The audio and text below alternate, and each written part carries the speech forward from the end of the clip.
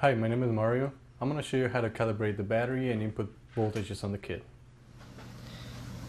What we have here, we have a Fluke multimeter and it's connected to the battery terminals of a 24 volt bank, which is kind of low.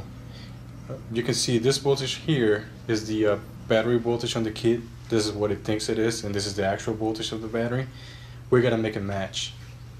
So to do that, uh, if the unit is charging, you have to go to the input mode and turn it off. Um, on firmware revision 1811 and previous.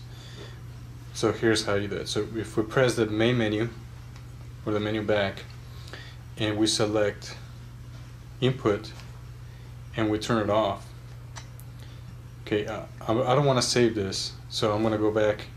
I'm going to leave it off and I'm going to go back and I'm going to scroll all the way to the right to tech and press enter. Uh, calibration is highlighted with the asterisk and we press enter. Here we have the battery voltage, the same as the uh, as the status screen, and we have the offset. So I'm gonna, I'm just gonna push the down button until they match. So 17.19.7, 19.7. I'm going to press the save button to save that.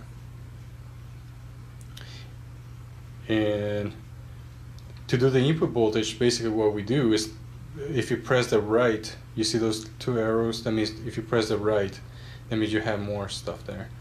So that's the input voltage, which is 17.6, and the offset is zero. I haven't I haven't done anything with this, but you will do the same thing with the mode off and just make a match to what they need to be and press save. And now we got we go back to the um, to the input mode and turn it on so it starts charging again. Now if push save again and then we'll go to the status screen. Now the, the fluke meter and the KID match. And that's it for calibrating the KID.